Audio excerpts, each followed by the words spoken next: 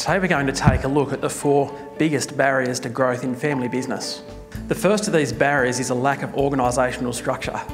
Where this occurs, the family members involved in a business don't have clearly defined roles and responsibilities. In turn, this leads to a lack of accountability. The second barrier to growth is traditional thinking. Growth requires innovation and change and a willingness to take risks. Traditional thinking results in a state of complacency and stagnation. The third barrier to growth is the DIY mentality. The fact is that you cannot wear every hat in your business. If you spread yourself too thin, you cannot expect to grow. There is always a need for external support and advice. The fourth and biggest barrier to growth is you. Can you recognise when you are the limiting factor? Are you thinking too small? Are you limiting your potential?